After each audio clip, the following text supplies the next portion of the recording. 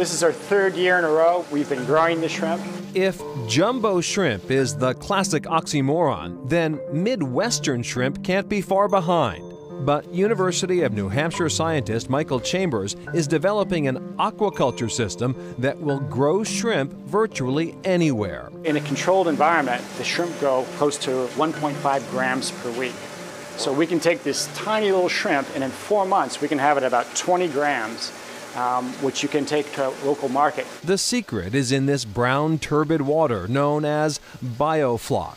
It's kind of like a, a, brown living water. It's a living filter of sorts. It provides protein rich nutrients on which the shrimp feed, and it also recycles their waste products. What we look for is the brown digestive tract. Mm-hmm. That shows us that they're eating well, it's full and we're optimizing uh, the system and their growth rates. Chambers sees this as a viable crop for fishermen during their off seasons and for farmers anywhere in the country.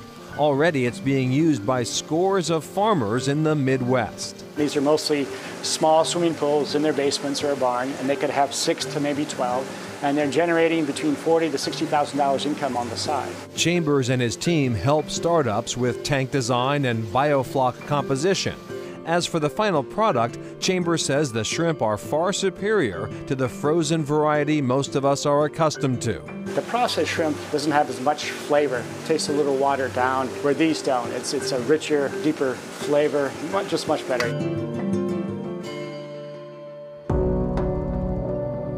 A better understanding of bridges is the goal of another University of New Hampshire project known as the Living Bridge. The recently built Memorial Bridge connecting Portsmouth and Kittery is outfitted with a variety of sophisticated sensors. Erin Bell is a UNH engineering professor. We developed this idea of the living bridge.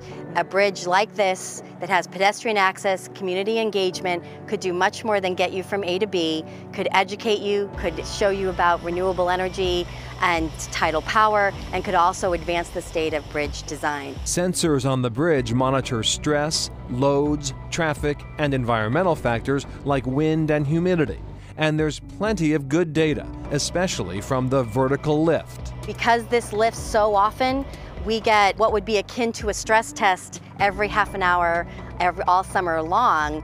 And so I get a nice big impact and I can watch what happens to the bridge or how the bridge responds. And we can use that to characterize its performance. The information helps verify and refine computer modeling and will influence future bridge design. The bridge is a platform that gathers data on the estuary, like salinity, temperature, and turbidity of the water.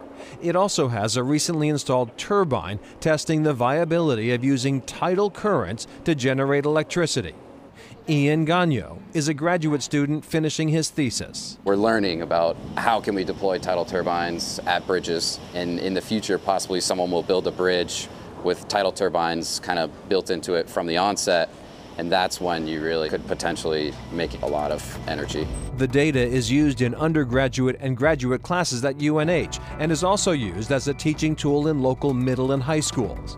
And Erin Bell believes the Living Bridge can make connections beyond just joining New Hampshire and Maine. That's how you get the next generation of engineers is not talking to them about you should want to do math and science. It's you get to do things that make this a better place to live have bridges like this, have clean energy, learn about them and advance them. And that's, I think, how you inspire young engineers. You can actually help people and make the world a better place.